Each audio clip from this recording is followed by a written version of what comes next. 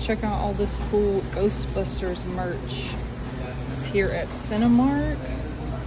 I want one of everything. The movie comes out March 22nd, and I'm a big Ghostbusters fan. And can't wait to see this, guys.